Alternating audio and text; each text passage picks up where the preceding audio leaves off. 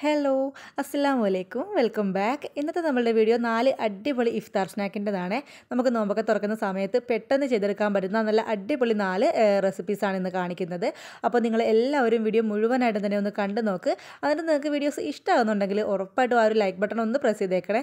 അതുപോലെ തന്നെ നമ്മുടെ ചാനൽ ആദ്യമായിട്ട് കാണുന്നവരാരെങ്കിലും ആണെങ്കിൽ ഒന്ന് സബ്സ്ക്രൈബ് ചെയ്തും കൂടി സപ്പോർട്ട് ചെയ്തേക്കുക. അതുപോലെ തന്നെ നമ്മളുടെ വീഡിയോനെ പറ്റിയിട്ടുള്ള നിങ്ങളുടെ അഭിപ്രായങ്ങളെല്ലാം നിങ്ങളൊന്ന് കമന്റ് ചെയ്യാനും മറക്കല്ലേ? അപ്പോൾ നമുക്ക് ഇതാ ഫസ്റ്റ് സ്നാക്കിലേക്ക് പോവാം. ഞാനിപ്പം ഒരു ബൗളിലേക്ക് ഒരു കപ്പ് മൈദയാണ് ചേർത്ത് കൊടുക്കുന്നത്. ഇതിലേക്ക് ആവശ്യത്തിനുള്ള ഉപ്പും കൂടി ഒന്ന് ആഡ് ചെയ്ത് കൊടുത്തിട്ടുണ്ട്. അതുപോലെ തന്നെ നമുക്കിനി ഇതിലേക്ക് ചേർത്ത് കൊടുക്കേണ്ടത് ചെറിയ ജീരകമില്ലേ നമ്മുടെ ചെറിയ ജീരകം കൂടി ചേർത്ത് കൊടുക്കുന്നുണ്ട്. നല്ലൊരു ഫ്ലേവർ കിട്ടാൻ വേണ്ടിയിട്ടാണ്. അപ്പം താല്പര്യമുള്ളവർക്ക് ചേർത്ത് കൊടുക്കാം. ഇല്ലെന്നുണ്ടെങ്കിൽ സ്കിപ്പ് ചെയ്യാവുന്നതാണ്. ഇനി ഇതിലേക്ക് ഞാനൊരു മൂന്ന് ടേബിൾ സ്പൂണോളം ഓയിലാണ് ചേർത്ത് കൊടുക്കുന്നത്. ഞാനിപ്പം യൂസ് ചെയ്യുന്ന സൺഫ്ലവർ ഓയിലാണ് അത് ഒരു മൂന്ന് ടേബിൾ സ്പൂൺ ഒന്ന് ഒഴിച്ചു കൊടുക്കുന്നുണ്ട്. അതും കൂടി ഒഴിച്ചതിന് ശേഷം നമുക്കിത് നല്ലപോലെ തന്നെ ഒന്ന് മിക്സ് ചെയ്തിട്ട് എടുക്കണം. ഈ ഒരു ഓയിലും ഉപ്പും എല്ലാം ഒന്ന് നമ്മുടെ പൊടിയിലേക്ക് എല്ലായിടത്തേക്കും എത്തുന്ന രീതിയിൽ നന്നായിട്ടൊന്ന് ഇളക്കി യോജിപ്പിച്ച് കൊടുക്കുക. നമുക്ക് കൈകൊണ്ട് തന്നെ നന്നായിട്ടൊന്ന് കുഴച്ചെടുക്കാൻ വേണ്ടിയിട്ടാണ്.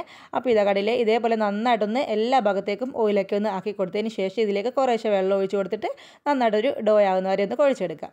നമ്മൾ പച്ചവെള്ളം ഒഴിച്ചിട്ടാണ് കുഴച്ചെടുക്കുന്നത്. കുറേശ്ശെ കുറേശ്ശെ ഒഴിച്ചിട്ട് നമ്മൾ ചപ്പാത്തിക്കെല്ലാം കുഴക്കത്തില്ലേ ആ ഒരു രീതിയിലാവുന്നവരെ കുറച്ച് കുറച്ചായിട്ട് വെള്ളം ഒഴിച്ച് കൊടുത്താൽ മതി.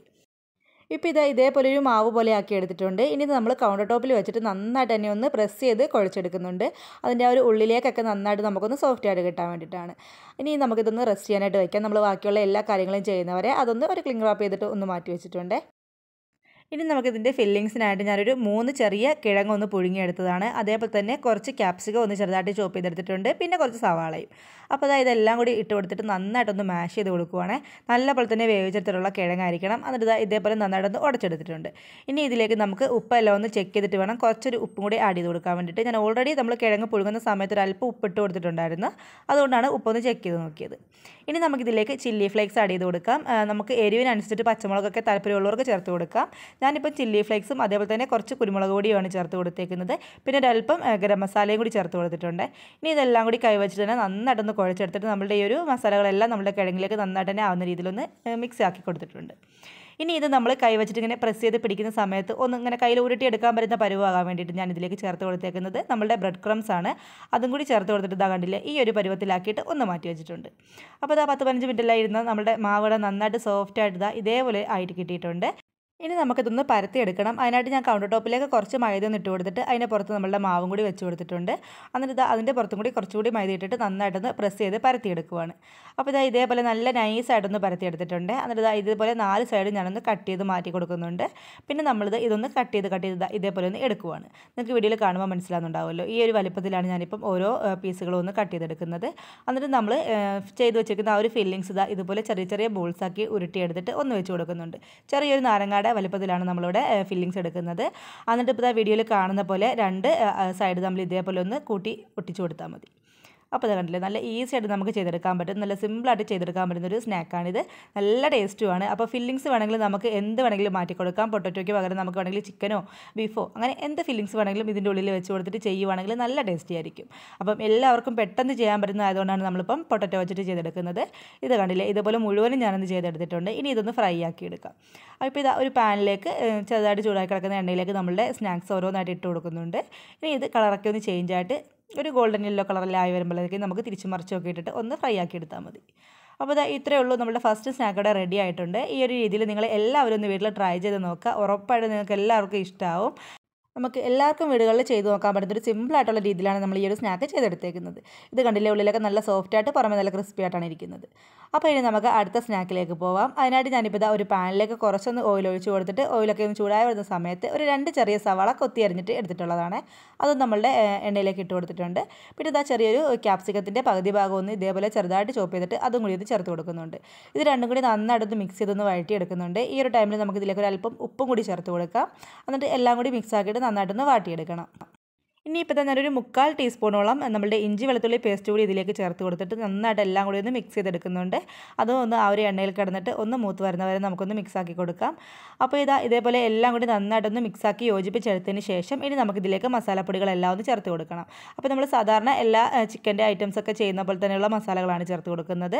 ഒരു കാൽ ടീസ്പൂണോളം മഞ്ഞൾപ്പൊടിയും ഒരു മുക്കാൽ ടീസ്പൂണോളം കാശ്മീരി മുളക് പൊടിയും ചേർത്ത് കൊടുക്കുന്നുണ്ട്.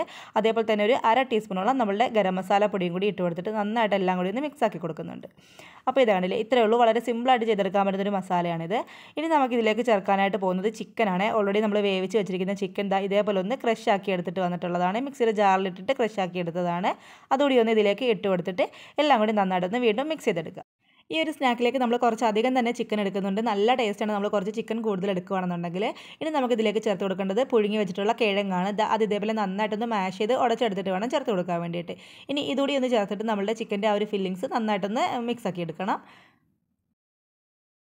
അപ്പോൾ ഇത് ഇതേപോലെ നന്നായിട്ടൊന്ന് മിക്സാക്കി എടുത്തതിന് ശേഷം നമ്മളുടെ ഫില്ലിങ്സ് നമുക്ക് ഫ്ലെയിമൊക്കെ ഓഫാക്കിയിട്ട് ഒന്ന് തണുക്കാനായിട്ട് മാറ്റി വെച്ച് കൊടുക്കാം. അപ്പം ആ ഒരു സമയത്ത് നമുക്ക് വേറെ കുറച്ച് പരിപാടികളും കൂടെ ചെയ്തെടുക്കാറുണ്ട് ഇനി ഈ ഒരു സ്നാക്ക് നമ്മൾ ചെയ്തെടുക്കാനായിട്ട് പോകുന്നത് ബ്രെഡിലാണ് അപ്പോൾ ഇതാ ഇതേപോലെ ബ്രെഡ് ഒന്ന് എടുത്ത് വെച്ചിട്ട് നമ്മൾ ഈ ഒരു ബ്രെഡിന്റെ എല്ലാം സൈഡ് ഭാഗം ഒന്ന് കട്ട് ചെയ്തിട്ട് മാറ്റി കൊടുക്കുന്നുണ്ട്. അപ്പോൾ നിങ്ങൾ ഈ ഒരു ബ്രെഡ് എടുക്കുന്ന സമയത്ത് കുറച്ച് വലിപ്പമുള്ള ടൈപ്പ് ബ്രെഡ് എടുക്കുകയാണെന്നുണ്ടെങ്കിൽ നമുക്ക് ഈ ഒരു സ്നാക്കിന് നല്ലപോലെ തന്നെ ഷേപ്പൊക്കെ ആക്കി എടുക്കാനായിട്ട് പറ്റും. അതൊന്ന് പ്രത്യേകം ശ്രദ്ധിക്കണം. ഇതിപ്പോൾ ഞാൻ ഇതാ സൈഡെല്ലാം ഒന്ന് കട്ട് ചെയ്ത് മാറ്റി കൊടുത്തിട്ടുണ്ട്. ഇനി ഇത് കുറച്ച് വെള്ളം ഒന്ന് എടുത്തിട്ട് ഇതേപോലെ ഒന്ന് വെള്ളത്തിലൊന്ന് ടച്ച് ചെയ്ത് ടച്ച് ചെയ്ത് കൊടുത്തിട്ട് നമുക്കിതൊന്ന് പരത്തി കൊടുക്കാം അപ്പോൾ ഇതേപോലെ നന്നായിട്ടൊന്ന് പ്രസ് ചെയ്ത് തന്നെ പരത്തിയെടുക്കുക. അപ്പോൾ നമ്മളുടെ ഈ ഒരു ബ്രെഡ് നന്നായിട്ടൊന്ന് സോഫ്റ്റ് ആയിട്ട് വരും. കുറച്ച് വെള്ളം തിളയ്ക്കുന്നത് ഇങ്ങനെ പരത്തുന്ന സമയത്ത് ആ ഒരു ബ്രെഡ് ഒന്ന് പൊടിഞ്ഞു പോകാണ്ടിരിക്കാൻ വേണ്ടിയിട്ടാണ്. അതും കൂടി ഒന്ന് പ്രത്യേകം നമ്മൾ ശ്രദ്ധിക്കണം. ഇനിയിപ്പോൾ നമുക്കിതിലേക്ക് ഫില്ലിങ്സ് വെച്ച് കൊടുക്കാം. ഞാനിപ്പോൾ ഇതേപോലെ ചെറിയൊരു നാരങ്ങ വലിപ്പത്തിലാണ് നമ്മളുടെ ഫില്ലിങ്സ് ഒന്ന് ഉരുട്ടിയെടുത്തേക്കുന്നത്. എന്നിട്ട് നമ്മളുടെ ബ്രെഡിന്റെ നാല് വശം ഒന്ന് നനച്ച് കൊടുക്കുന്നുണ്ട്. കുറച്ച് വെള്ളം കൊണ്ടൊന്ന് നനച്ച് കൊടുത്താൽ മതി.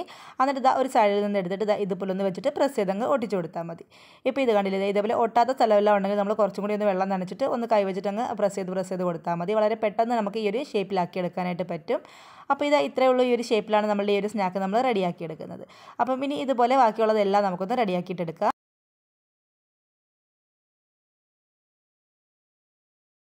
ഇപ്പോൾ ഇത് നമ്മളിത് മുഴുവനും ഇതേപോലെ ഒന്ന് ഷേപ്പാക്കി എടുത്തിട്ടുണ്ട്. ഇനി നമുക്കിതിലേക്ക് വേണ്ടത് രണ്ട് മുട്ടയൊന്ന് നന്നായിട്ടൊന്ന് അടിച്ചെടുത്തിട്ടുള്ളതാണ്.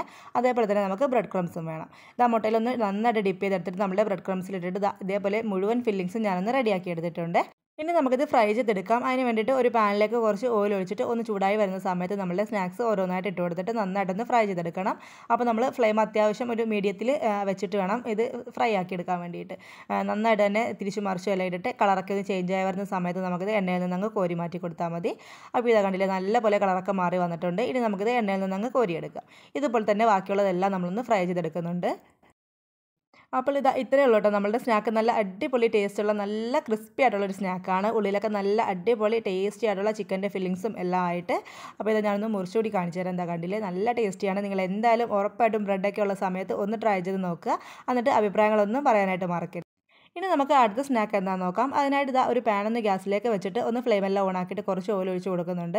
ഇനി ഇതിലേക്ക് നമ്മൾ കട്ട് ചെയ്ത് വെച്ചിരിക്കുന്ന സവാളയാണ് ചേർത്ത് കൊടുക്കുന്നത്. ചെറുതായിട്ട് ചോപ്പ് ചെയ്ത് വെച്ചിരിക്കുന്ന സവാളയാണ്. ഒന്ന് നന്നായിട്ട് വഴറ്റിയെടുക്കാൻ വേണ്ടി ഇതാ നന്നായിട്ടൊന്ന് മിക്സ് ആക്കി ഒന്ന് ഇളക്കി കൊടുക്കുന്നുണ്ട്. ഇനി ഇതിലേക്ക് നമ്മളിപ്പോൾ ചേർത്ത് കൊടുക്കാനായിട്ട് പോകുന്നത് ഇഞ്ചി വെളുത്തുള്ളി പേസ്റ്റാണ് അതും ഒരു ഏകദേശം ഒരു ടേബിൾ സ്പൂണോളൊക്കെ നമ്മൾ ചേർത്ത് കൊടുക്കുന്നുണ്ട്. അതും കൂടി ചേർത്തിട്ട് എല്ലാം കൂടി ഒരുമിച്ച് മിക്സ് ചെയ്തിട്ട് നമുക്കൊന്ന് വഴറ്റിയെടുക്കാം. ഇനിയിപ്പം ഈ ഒരു സമയത്ത് ഇതിലേക്ക് ഞാനൊരു അല്പം ഉപ്പും കൂടി ചേർത്തിട്ട് വീണ്ടും ഒന്ന് മിക്സ് ചെയ്ത് കൊടുക്കുന്നുണ്ട്. ഇനി നമ്മൾ ഇതിലേക്ക് ചേർക്കാനായിട്ട് പോകുന്നത് വേവിച്ച് ഉടച്ച് വെച്ചിരിക്കുന്ന കിഴങ്ങാണ്. അതും കൂടി ഒന്ന് ചേർത്ത് കൊടുത്തിട്ട് വീണ്ടും ഒന്ന് എല്ലാം കൂടി നന്നായിട്ടൊന്ന് മിക്സ് ആക്കി എടുക്കണം. അപ്പം കിഴങ്ങും സവാളയും എല്ലാം ഒന്ന് നന്നായിട്ട് ഉടച്ച് കിട്ടാൻ വേണ്ടി ഇതേപോലെ ഒന്ന് മാഷ് ചെയ്ത് മാഷ് ചെയ്ത് കൊടുക്കുന്നുണ്ട്. ഇനി നമുക്ക് ഇതിലേക്ക് കുറച്ച് മസാലപ്പൊടികളും കൂടി എല്ലാം ഒന്ന് ആഡ് ചെയ്ത് കൊടുക്കാം. ഞാനിപ്പോൾ ഇതാ ഇതിലേക്ക് ഒരു കാൽ ടീസ്പൂൺ മഞ്ഞൾപ്പൊടിയും അതുപോലെ തന്നെ മുക്കാൽ ടീസ്പൂണോളം കാശ്മീരി മുളക് ചേർത്ത് കൊടുക്കുന്നുണ്ട്. പിന്നെ നമുക്ക് ഗരം മസാലപ്പൊടി ചേർത്ത് കൊടുക്കാം. അതും ഏകദേശം ഒരു മുക്കാൽ ടേബിൾ സ്പൂണോളം തന്നെ ചേർത്ത് കൊടുക്കുന്നുണ്ട്. ഇതെല്ലാം കൂടി നന്നായിട്ടൊന്ന് മിക്സാക്കി എടുത്തതിന് ശേഷം നമുക്ക് ആ ഒരു പൊടികളുടെയൊക്കെ പച്ചമണം മാറുന്നവരെന്ന് ഇളക്കി കൊടുക്കണം. ഇനിയിപ്പോൾ നമ്മളുടെ ഫില്ലിങ്സ് ഒക്കെ നന്നായിട്ട് എല്ലാം കൂടി ഒന്ന് യോജിപ്പിച്ച് വന്നിട്ടുണ്ട്. ഈ ഒരു സമയത്ത് നമ്മൾ ഇതിലേക്ക് ഉപ്പൊക്കെ നോക്കിയ സമയത്ത് ഒരല്പം ഉപ്പിന്റെ കുറവുണ്ടായിരുന്നു. അപ്പം ഒരു ഒരു കാൽ ടീസ്പൂൺ ഉപ്പും കൂടി ഞാനൊന്ന് ചേർത്ത് കൊടുത്തിട്ട് ഒന്ന് മിക്സ് ചെയ്ത് ഇളക്കിയെടുക്കുന്നുണ്ട്. ഇനിയിപ്പോൾ ഈ ഒരു ഫില്ലിങ്സിന്റെ പകുതി ഭാഗം ഞാനൊന്ന് എടുത്ത് മാറ്റി കൊടുക്കുന്നുണ്ട്. അടുത്ത സ്നാക്കിലേക്ക് നമ്മൾ ഇതേ ഫില്ലിങ്സ് വെച്ചിട്ട് തന്നെയാണ് ചെയ്തെടുക്കുന്നത്. അപ്പോൾ അതിന് വേണ്ടിയിട്ട് ഞാനിതാ പകുതി ഫില്ലിങ്സ് ഒന്ന് വേറൊരു പ്ലേറ്റിലേക്ക് മാറ്റിയെടുക്കുന്നുണ്ട്. എന്നിട്ട് നമ്മൾ ഇതിലേക്ക് ഇനി ചേർത്ത് കൊടുക്കാനായിട്ട് പോകുന്നത് ചിക്കനാണ്. ചിക്കൻ ഒന്ന് വേവിച്ച് ഫ്രൈ ചെയ്തെടുത്തിട്ടുള്ളതാണ്. എന്നിട്ട് ഇതാ ചിക്കൻ ഇതുപോലെ ചെറിയ ചെറിയ പീസായിട്ടൊന്ന് കട്ട് ചെയ്തിട്ട് എടുത്തേക്കുന്നത്.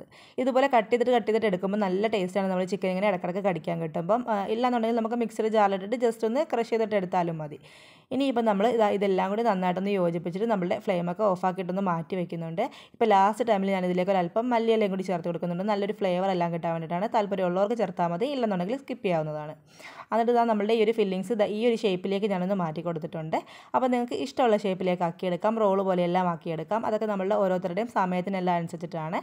എന്നിട്ട് നമ്മളിനി ഇത് ഇതിലേക്ക് കുറച്ച് കാര്യങ്ങളും കൂടിയൊക്കെ ചെയ്തെടുക്കാൻ വേണ്ടിയിട്ട് ഞാനിപ്പം ഇത് കവർ ചെയ്യാനായിട്ട് എടുത്തേക്കുന്നത് കുനാഫ ഡോയാണ് അപ്പോൾ നിങ്ങളുടെ കയ്യിൽ കുനാഫ ഡോ ഉണ്ടെങ്കിൽ അതെടുക്കാം ഇല്ലെന്നുണ്ടെങ്കിൽ നമുക്കിതിലേക്ക് തീരെ കനം കുറഞ്ഞിട്ടുള്ള വെർമിസിൽ യൂസ് ചെയ്യാവുന്നതാണ് നമ്മളുടെ സേമിയയിൽ. അത് യൂസ് ചെയ്താലും മതി. പിന്നെ ഞാനിപ്പോൾ ഇതാ ഇതിലേക്ക് കവറിങ്ങിനായിട്ടൊക്കെ എടുത്തേക്കുന്നത് ഒരു കാൽ കപ്പോളം മൈദ നമ്മളുടെ പൊടിയായിട്ട് തന്നെ എടുത്തിട്ടുണ്ട്. അതേപോലെ തന്നെ ഒരു അരക്കപ്പ് മൈദ നല്ലപോലെ ഒന്ന് വെള്ളമൊക്കെ ഒഴിച്ച് ലൂസായിട്ട് ഒരു ബാറ്റർ ആക്കിയിട്ട് എടുത്തിട്ടുണ്ട്. അപ്പോൾ നമ്മളുടെ ഈ ഒരു സ്നാക്ക് ഫസ്റ്റ് നമ്മളുടെ ഈ ഒരു ഡ്രൈ ആയിട്ടുള്ള മിക്സിയിലേക്ക് ഇട്ട് കൊടുത്തിട്ട് പൊടിയിൽ നന്നായിട്ട് കോട്ട് ചെയ്തെടുക്കാം. അതിനുശേഷം നമ്മളുടെ വെറ്റ് വെറ്റായിട്ടുള്ളതിനകത്തേക്ക് ഇട്ട് കൊടുത്തിട്ട് അതൊന്ന് കോട്ട് ചെയ്തെടുക്കണം. എന്നിട്ടാണ് നമ്മൾ ലാസ്റ്റ് ഈ ഒരു കുനാഫ ഡോയിൽ വെച്ചിട്ട് ഇതൊന്ന് കവർ ചെയ്തെടുക്കുന്നത്. അപ്പോൾ ഇത് ഞാനിപ്പോൾ ഈ ഒരു വീഡിയോയിൽ കാണിക്കുന്ന പോലെ തന്നെ നിങ്ങളൊന്ന് കവർ ചെയ്ത് കൊടുത്താൽ മതി. നല്ലപോലെ തന്നെ ഒന്ന് ചുറ്റിയെടുത്താലും കുഴപ്പമൊന്നുമില്ല. അപ്പോൾ ഇതാ ഇതുപോലെ നമ്മളുടെ സ്നാക്ക് മുഴുവനും നമുക്കൊന്ന് ചെയ്തെടുക്കാം. ഈ ഒരു സ്നാക്കുകളെല്ലാം ഇതേപോലെ ആദ്യം നമ്മളുടെ മൈദയിൽ കോട്ട് ചെയ്തിട്ട് പിന്നെ ഈ ഒരു ബാറ്ററിൽ ഡിപ്പ് ചെയ്തെടുക്കുക. എന്നിട്ട് നമ്മളുടെ കുനാഫാഡോ ഒന്ന് ചുറ്റിയെടുത്താൽ മതി. അങ്ങനത്തെ നമ്മളുടെ സ്നാക്ക് മുഴുവനും ഞാനിവിടെ കവർ ചെയ്ത് കോട്ട് ചെയ്തെടുത്തിട്ടുണ്ട്. ഇനി നമ്മളിത് ഫ്രൈ ചെയ്തെടുത്താൽ മതി. ഫ്രൈ ചെയ്യാനായിട്ട് നേരത്തെ ചെയ്ത പോലെ തന്നെ ഒരു പാനിലേക്ക് കുറച്ച് ഓയിൽ ഒഴിച്ച് കൊടുത്തിട്ട് ഓയിലൊന്ന് ചൂടായി വരുന്ന സമയത്ത് നമുക്ക് ഫ്ലെയിം ഒന്ന് മീഡിയത്തിലേക്ക് വെച്ച് കൊടുക്കാം. എന്നിട്ട് നമ്മളുടെ സ്നാക്ക് ഓരോന്നായിട്ട് ഇട്ട് കൊടുത്തിട്ട് നന്നായിട്ടൊന്ന് ഡീപ്പ് ഫ്രൈ ചെയ്ത് എടുത്താൽ മതി. അപ്പം ഉള്ളിലത്തെ സ്നാക്കിന്റെ ഫില്ലിങ്സ് ഒക്കെ നല്ലപോലെ തന്നെ നമ്മൾ കുക്ക് ചെയ്തെടുക്കുന്നതാണ്. അതുകൊണ്ട് ഉൾഭാഗം ഒന്ന് നന്നായിട്ട് വേവണമെന്നില്ല ഈ ഒരു പുറം ഭാഗം നന്നായിട്ട് ക്രിസ്പി ആയിട്ട് കളറൊക്കെ ചേഞ്ച് ആയി നല്ലൊരു ഗോൾഡൻ യെല്ലോ കളറാകുമ്പോൾ നമുക്ക് ഫ്ലെയിമൊക്കെ ഓഫ് ആക്കിയിട്ട് ഈ ഒരു സ്നാക്ക് അങ്ങ് എണ്ണയിൽ നിന്ന് കോരിയെടുത്താൽ മതിയാവും. ഇപ്പോൾ ഇതാ കണ്ടില്ലേ നല്ല അടിപൊളിയായിട്ട് കളറൊക്കെ ചേഞ്ച് ആയിട്ട് വന്നിട്ടുണ്ട്. ഇതുപോലെ നമുക്ക് ഇനി ഒന്ന് ഇതിന്ന് എണ്ണയിൽ നിന്ന് എടുത്ത് മാറ്റിയിട്ട് നമുക്ക് അടുത്ത ബാക്കിയുള്ളതെല്ലാം ഒന്ന് ഇതുപോലെ തന്നെ ഒന്ന് ഫ്രൈ ആക്കി എടുത്താൽ മതി. അപ്പോൾ ഇത് നമ്മുടെ സ്നാക്കെല്ലാം ഇവിടെ റെഡി ആയിട്ട് വന്നിട്ടുണ്ട്. നല്ല ടേസ്റ്റിയുള്ള ഒരു അടിപൊളി സ്നാക്കാണ്. ഉറപ്പായിട്ട് നിങ്ങളൊന്ന് ട്രൈ ചെയ്ത് നോക്കുക. ഇനി നമുക്ക് അടുത്ത സ്നാക്ക് എന്താണെന്ന് നോക്കാം.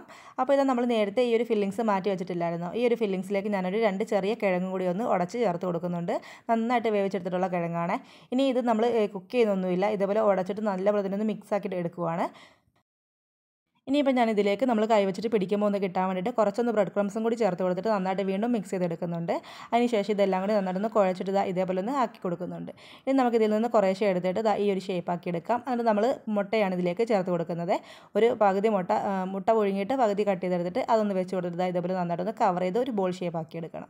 ഇനി ഇത് നമ്മൾ നേരത്തെ മൈദയുടെ മിക്സ് ഉണ്ടാക്കിയിട്ടില്ലേ? ആ ഒരു മിക്സിലേക്ക് നന്നായിട്ട് ഡിപ്പ് ചെയ്തതിന് ശേഷം ബ്രെഡ് ക്രംസും കൂടി കവർ ചെയ്തിട്ട് എടുത്താൽ മതി. ഇത്രയേ ഉള്ളൂ. ഇനി ഇത് നമുക്കൊന്ന് ഫ്രൈ ചെയ്തെടുക്കാം